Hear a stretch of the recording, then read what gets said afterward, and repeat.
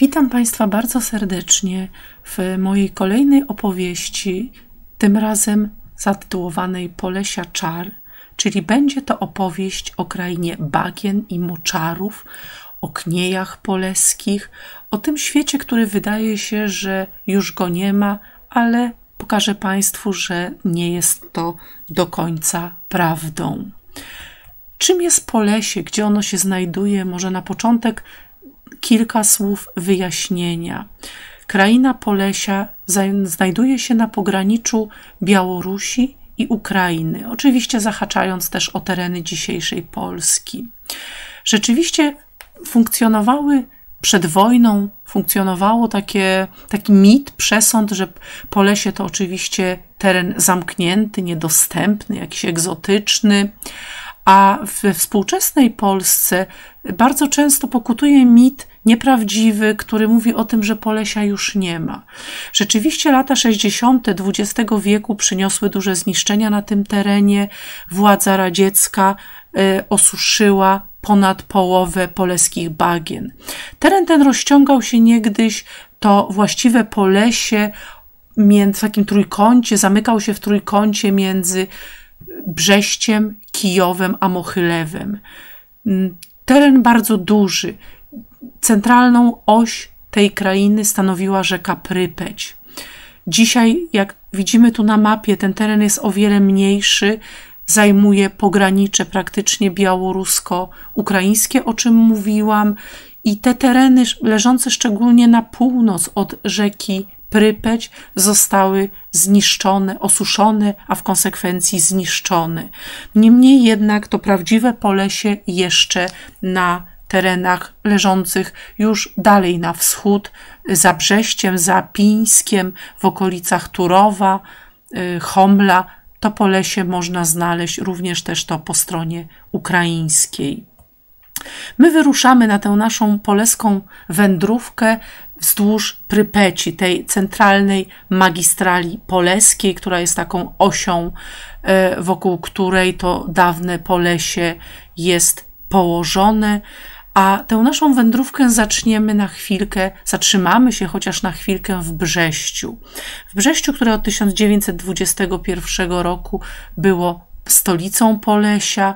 Dzisiaj, kiedy przyjeżdżamy do tego miasta, wita nas dworzec kolejowy, taki w stylu, tutaj jak ja się zawsze śmieję, stalinowskiego ampiru z, z czerwoną gwiazdą. Olbrzymi, wielki dworzec, trzeba na nim bardzo uważać, ponieważ posiada dwie części, część warszawską i moskiewską i kiedy wyruszamy gdzieś dalej w głąb Polesia z tego dworca, to musimy oczywiście przejść na stronę właściwą, podobnie wracając, a są to naprawdę duże odległości do przejścia. W Brześciu zachowało się nie tak dużo zabytków. Y, jednym z nich jest XIX-wieczna świątynia katolicka pełniąca dzisiaj rolę katedry, stojąca w centrum miasta i taka ciekawostka, prawie naprzeciwko, jak widać na zdjęciu, stoi pomnik wodza rewolucji i jak mieszkańcy Brześcia sobie żartują, wódz wskazuje i wskazywał od zawsze w stronę świątyni i komentowano to zawsze dowcipnym zdaniem marsz narodzie do kościoła na nabożeństwo. E, jak wspomniałam, w Brześciu wiele zabytków dzisiaj się nie zachowało, pomimo że jest to jedno z trzech najstarszych miast Białorusi. Jednym z punktów y, ważnym w Brześciu, odwiedzanym przez turystów, jest słynna twierdza brzeska. Twierdza, która miała za zadanie ochraniać zachodnie granice najpierw Imperium Carskiego, y, później zapisała się obroną w 1939 roku. Y, dzisiaj jest na terenie y, jej pomieszanie starego z nowym. Na górnym zdjęciu tutaj możecie Państwo zobaczyć nowy pomnik z czasów oczywiście sowieckich, żołnierza radzieckiego, który patrzy chmurnym okiem na ruiny. Ruiny u podnóża to są ruiny pałacu, w którym podpisano niegdyś traktat brzeski, e, a niegdyś znajdował się tam klasztor ojców jezuitów, a na zdjęciu poniżej widać oczywiście w, e, w kształcie czerwonej gwiazdy radzieckiej wejście na teren twierdzy. Miejsce jest szczególne i tak jak powiedziałam, warto zapoznać się z jego historią. Y, twierdza leży na, praktycznie na granicy polsko-białoruskiej, leży w widłach y, rzek Bugu i Muchawca. Ale chciałam też wspomnieć o jednym miejscu, gdzie turyści nie zaglądają. Na terenie twierdzy y, już najbardziej od strony wschodniej znajduje się cmentarz. Cmentarz na którym leżą obrońcy tego miejsca z września 1939 roku.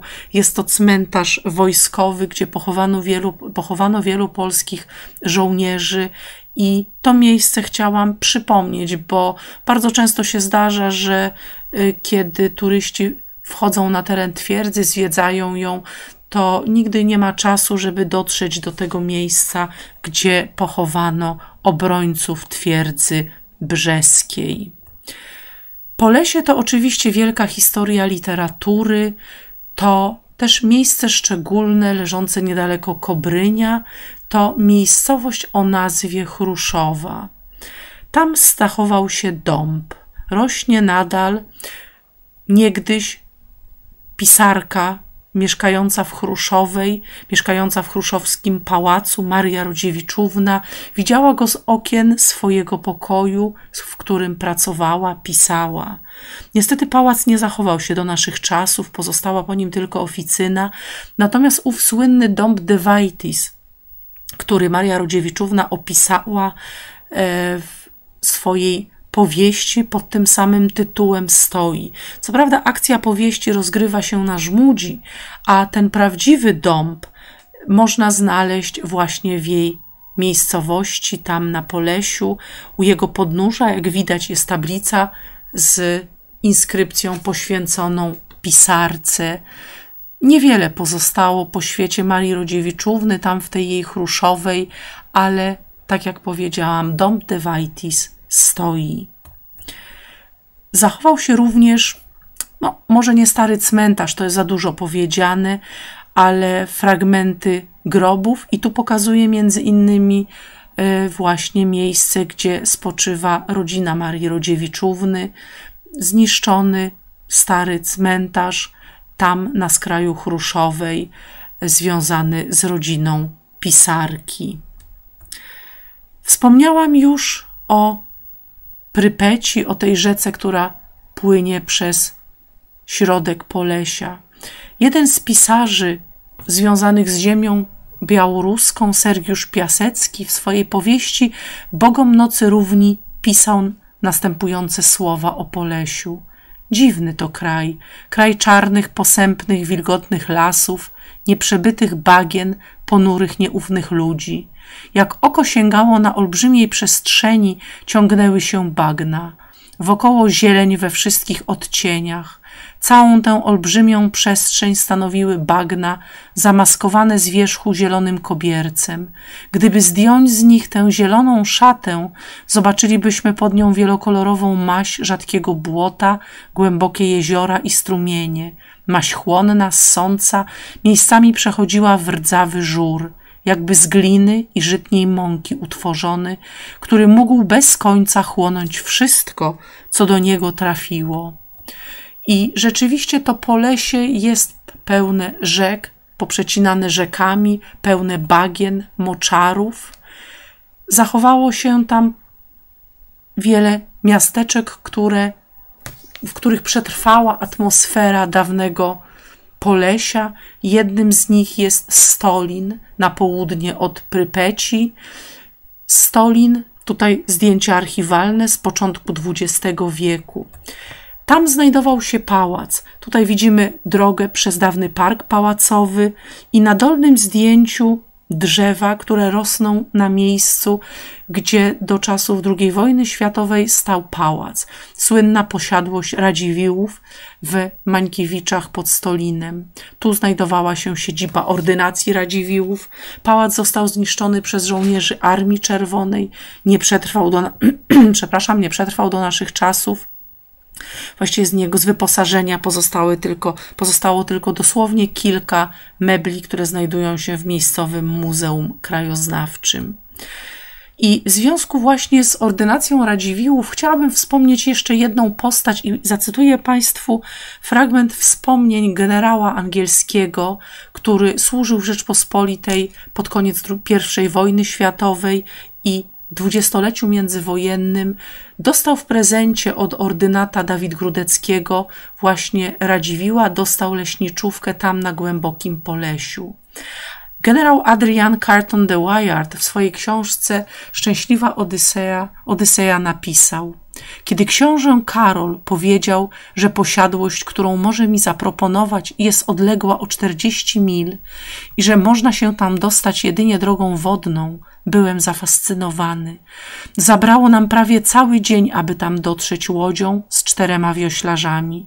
Po przybyciu na miejsce zobaczyliśmy niewielki drewniany dom stojący samotnie na niewielkiej wysepce otoczonej wodą i lasem. Nie wiem, jak rozległe były prypeckie błota, bo choć byłem przez nie otoczony, nigdy nie dotarłem do ich krawędzi. Prostyń przywitał mnie wspaniale. Zapadłem w jego życie tak łatwo, jak w głęboki fotel i nigdy bym go nie porzucił, gdyby nie zmusił mnie do tego Hitler.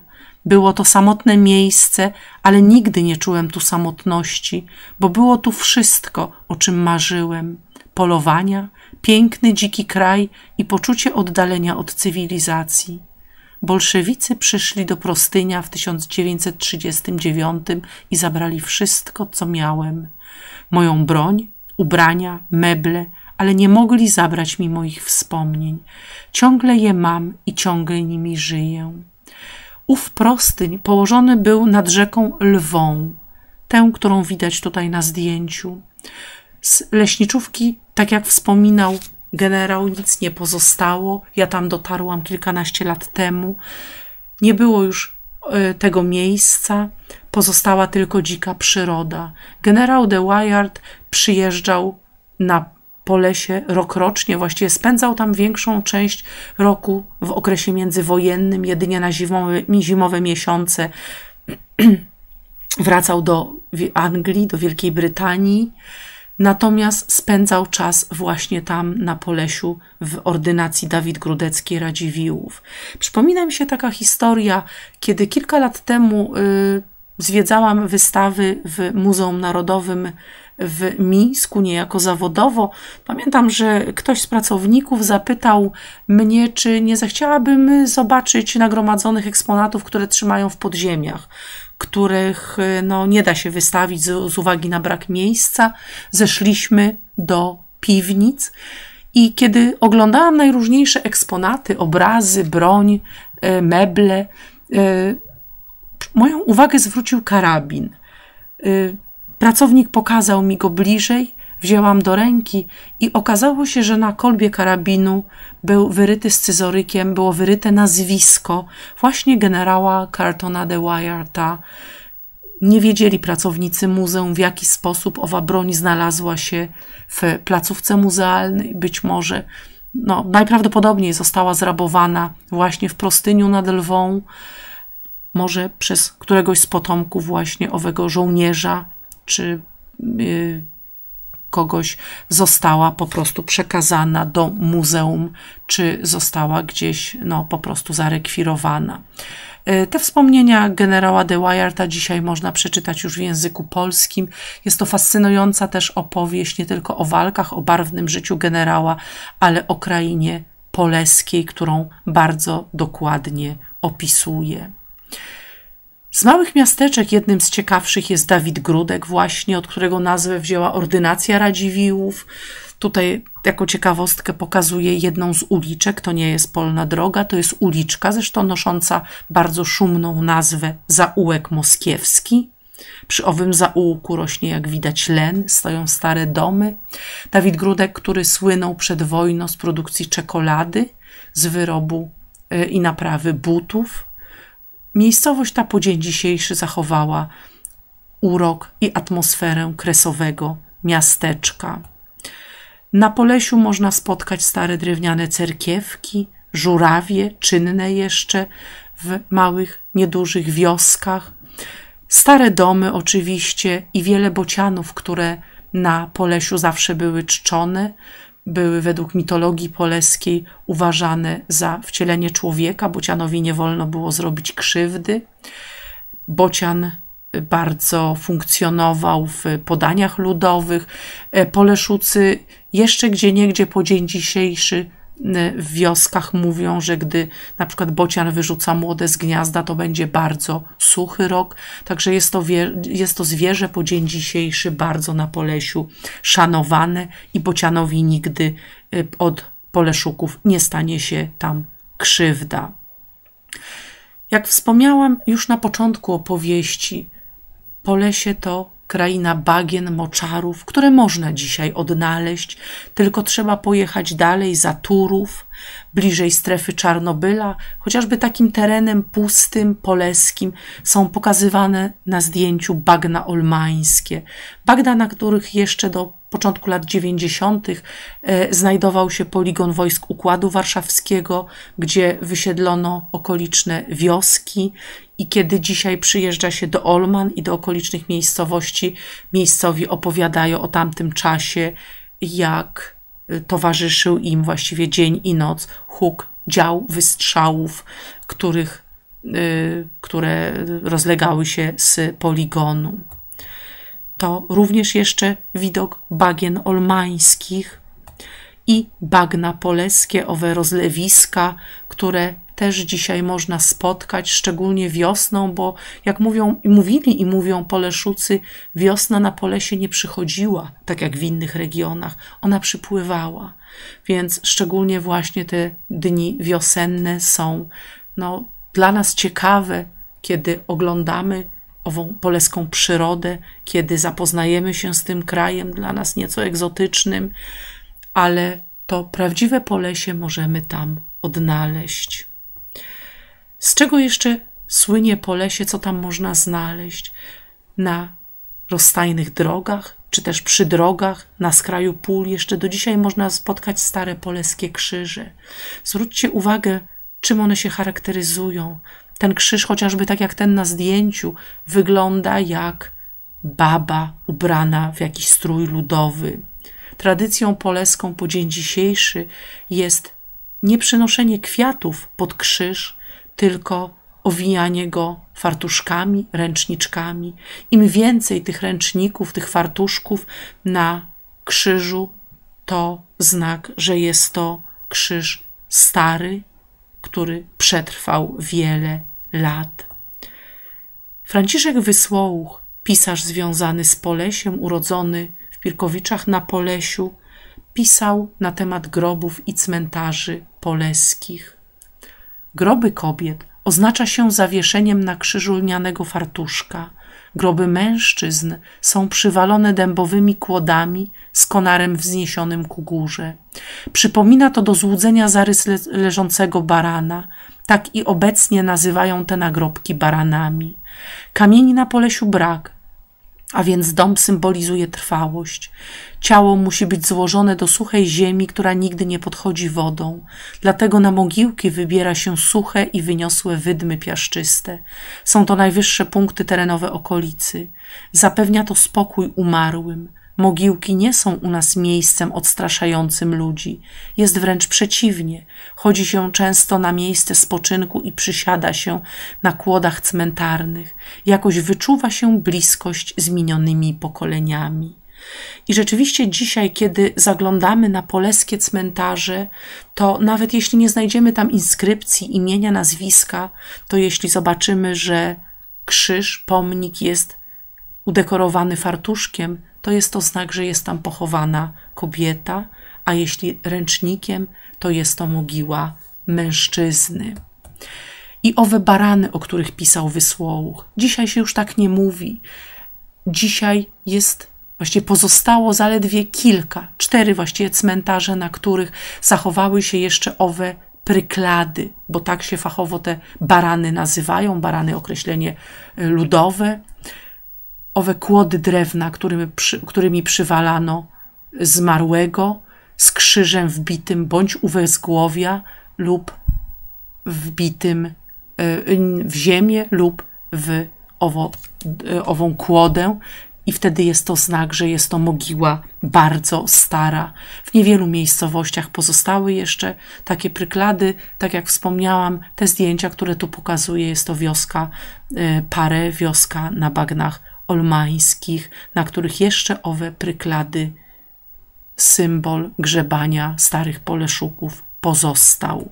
Tutaj dla przykładu jeszcze przyklada dziecięca e, i już rozpadająca się kolejna na cmentarzu.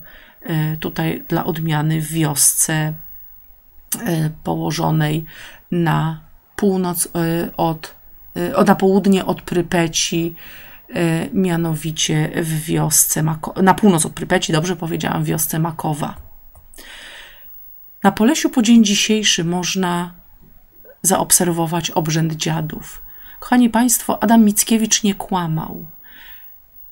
Takim symbolem, który jeszcze można spotkać na mogiłach prawosławnych, są talerzyki, szklanki, oczywiście nierzadko kieliszki, gdzie na przygrobach właśnie e, miejscowi e, odbywają obrzęd dziadów. Mnie się zdarzyło w takim obrzędzie wziąć udział dwukrotnie, bo rzeczywiście w okresie tak zwanej radunicy po prawosławnej Wielkiej Nocy, nie w listopadzie, tak jak u nas, można właśnie ten obrzęd dziadów zaobserwować. Poleszucy spotykają się po południu, nigdy wieczorem ani w nocy na cmentarzach wokół mogił, swoich bliskich.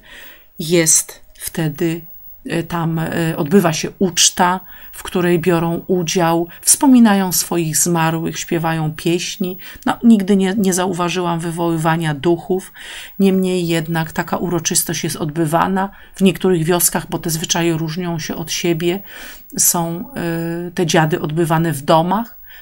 Są tak zwane dziady filipowskie, które odbywają się na świętego Filipa w listopadzie, ale ta główna uroczystość dziadów to jest y, wtorek, po niedzieli przewodniej, po radunicy, czyli po prawosławnym święcie wielkanocnym.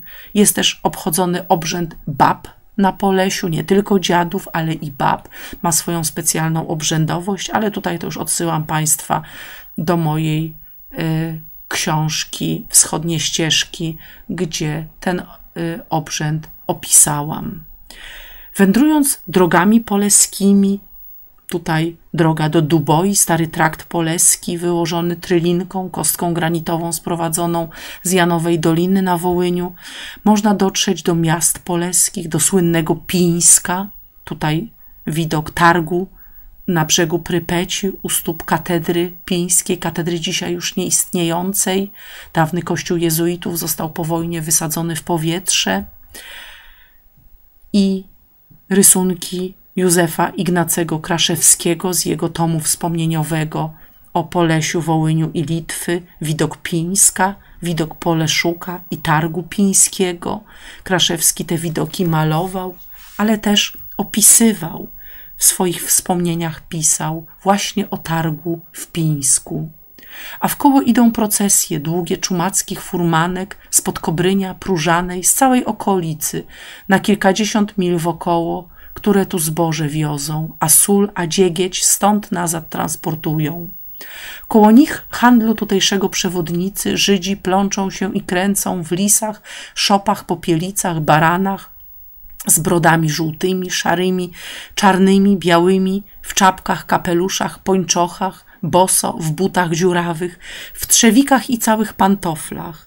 Jedziesz dalej przez rynek ożywiony, a na prawo od ciebie wznosi się facjata eksjezuickiego kościoła i wały niegdyś zamczyska. Brzeg, najważniejsze w Pińsku miejsce, To tu przybijają statki z solą, z wódką, a odbijają ze zbożem, węglami, obręczami. Mnóstwo ludzi, czułen, barek, pińczuków w szarych opończach, w czarnych pasach, z krzesiwem w ręku, z lulką w zębach, z kołtunem grubym i długim, opartych na wiosłach.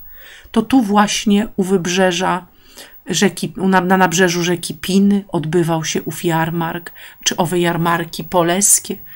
Dzisiaj nie ma ruchu na Pinie, czasem tylko jakieś statki turystyczne kursują. Stoi kolegium jezuickie, obok z prawej strony wznosił się ów kościół jezuitów, nieistniejący.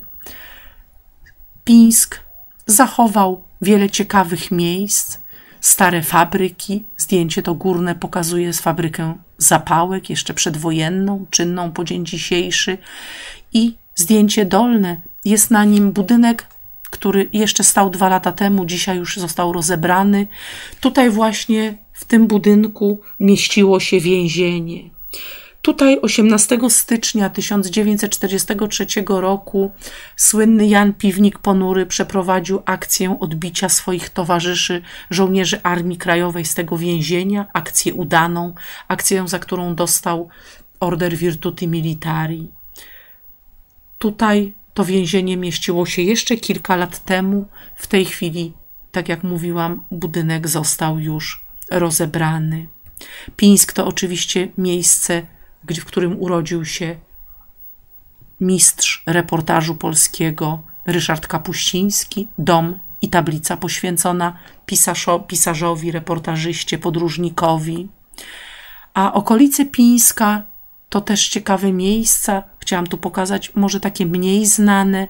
Miejscowość Duboja. I tam na skraju dawnej posiadłości jezuitów, posiadłości, w której wychowywał się Adam Naruszewicz, zachował się w lesie cmentarz, w którym, na którym pochowano żołnierzy Polaków, Rosjan i Niemców walczących w I wojnie światowej. Innym ciekawym miasteczkiem na Polesiu jest Kobryń. Jest tam między innymi cmentarz, na którym, jak widać na zdjęciu, zachował się pomnik nagrobny Aleksandra Mickiewicza, brata poety, młodszego brata, prawnika, wykładowcy. Skończył prawo na Uniwersytecie Wileńskim. Był profesorem w słynnym Liceum Krzemienieckim.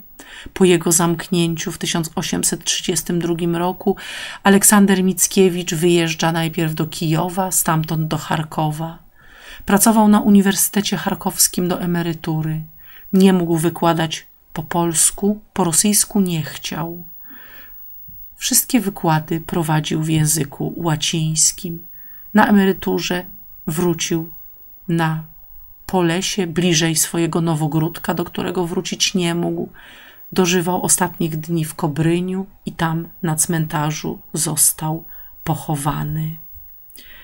Historia Polesia to też historia słynnej flotylli rzecznej marynarki wojennej, która powstała w 1918 roku. To też zwana później flotyllą pińską, która pływała po rzekach Polesia, po Pinie, po Prypeci, która staczała walki w wojnie polsko-bolszewickiej, która no, nie mogła przeciwstawić się polskim wa walkom y, żołnierzy polskich y, we wrześniu 1939 roku i po wkroczeniu armii Czerwonej na ziemię Rzeczpospolitej, na ziemię też Polesia. 17 września 1939 roku zostały statki, monitory i jednostki flotylli rzecznej zatopione, a niektórzy żołnierze z tej jednostki zakończyli swoje walki, zakończyli swoje życie w Mokranach, przy, na skraju Polesia, przy granicy z Ukrainą. To jest to dolne zdjęcie, pokazuje pomnik w Mokranach, gdzie właśnie we wrześniu 1939 roku zostali wyłapani, część tych żołnierzy, część marynarzy została wyłapana przez y, NKWD i tam na skraju majątku państwa rajeckich zostali rozstrzelani. Dzisiaj w tym miejscu znajduje się pomnik z kotwicą i nazwiska tych, których udało się ustalić, y, którzy tam zginęli właśnie w Mokranach. Polesie to również wspaniałe rezydencje, pałace, dwory. Dzisiaj, jak widać, niektóre zrujnowane. Tutaj Chruszówka Tadeusza Rejtana, pałac, właśnie dwór zniszczony, wystawiony dzisiaj na sprzedaż. No, ale kupić go można tylko mając obywatelstwo białoruskie lub rosyjskie oczywiście. Są też miejsca odbudowywane. Jednym z nich jest e, Mereczowszczyzna, dwór w którym jest muzeum poświęcone urodzonemu tutaj Tadeuszowi Kościuszce.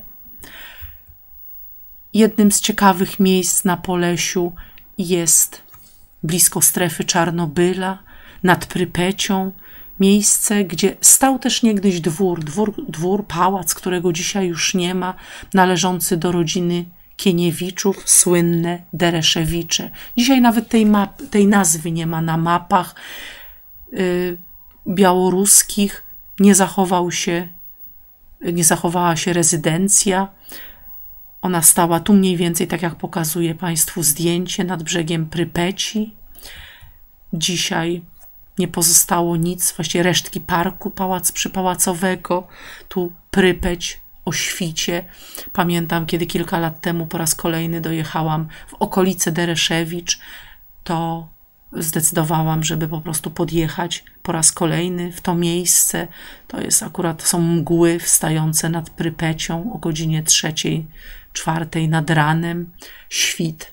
Tam po drugiej stronie tej Prypeci już znajduje się rezerwat radioaktywny, owa strefa czarnobylska, bo przecież Polesie to też kraina, która została dotkliwie Y, zniszczona w 1986 roku po wybuchu w elektrowni w Czarnobylu.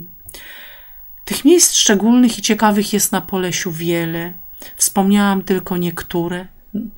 Y, o niektórych historiach opowiedziałam. Dziękuję Państwu za wysłuchanie tej poleskiej opowieści. Rozstajemy się nad rzeką też Poleską, nad Styrem. Dziękuję Państwu bardzo za uwagę i wysłuchanie kolejnej kresowej opowieści. Do usłyszenia. Dziękuję.